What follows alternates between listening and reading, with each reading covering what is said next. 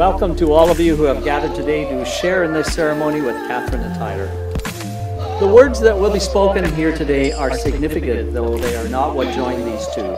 For we are not here to mark the start of a relationship, but to recognize a bond that already exists. Once you get close, you'll know what I've known.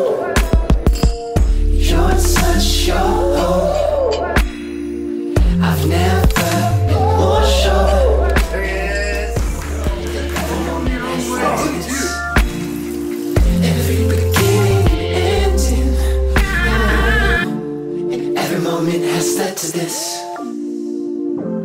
I, Tyler, take you, Catherine, I, Catherine, take you, Tyler, to be my wife, to be my husband. to have and to hold, From this day forward, for better, for worse, for rich and for poor, in sickness and in health, to love and to cherish, until the end of our days.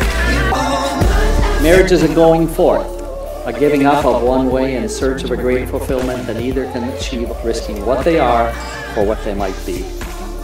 Love freely given has no beginning and no end. It love freely given has no giver and no receiver, for each is the giver and each is the receiver. May your rings always call to mind the freedom and the power of this love. I do now pronounce you husband and wife. You may seal your vows with a kiss.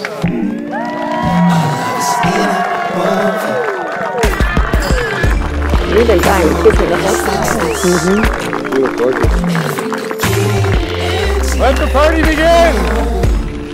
Every moment has led to this. But now that you're with me, you're all mine. Uh, y'all know anybody that meets her absolutely falls in love with her. She is among the most generous and loving people I have ever met in my entire life.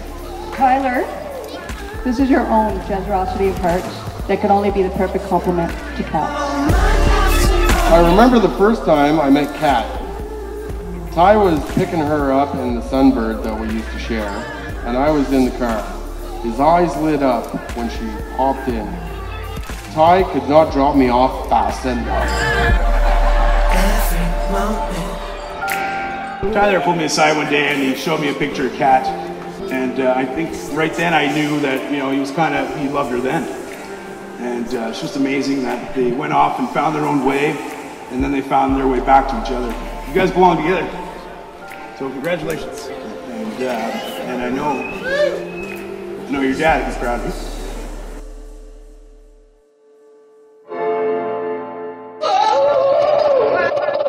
Tyler, you are my big brother.